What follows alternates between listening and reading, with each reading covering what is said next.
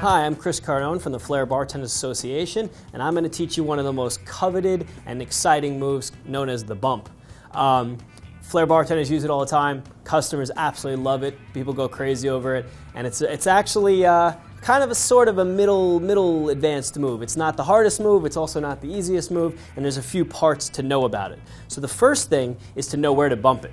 So you're going to use the kind of the meaty part of your elbow. The last thing you want to do is hit the bone. It hurts like you wouldn't believe. So when the bottle is coming over, you want to kind of bend your elbow a little bit and kind of add some of that meat on the muscle of it so that it hits, it doesn't hurt. If you hear bone hitting, you'll know it hits really fast and you're going to feel it. So you want to just practice knowing exactly where you're going to hit it so it doesn't hurt. The next part you have to master is throwing it over your shoulder. So you're going to actually take your bottle and you're going to release it over your shoulder so that it's coming around to hit your elbow. When you're kind of doing it, what you're going to do is you're going to release it over your shoulder. The bottle's going to come over. You're going to bump it with your elbow, kind of pushing the bottle back over, and then it releases around. And you can either pour it, you can catch it, you can stall it, you can do all sorts of different ideas with it. But it looks like this.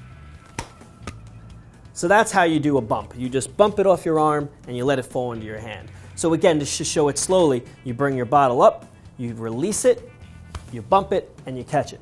And then you could do a bump to a stall, a bump to a pour, however you want to finish the move. But the, again, the whole point is to make sure it hits that meaty part of your arm, and you don't want to. You want to give it a little bounce so that the bottle kind of spins off the bump.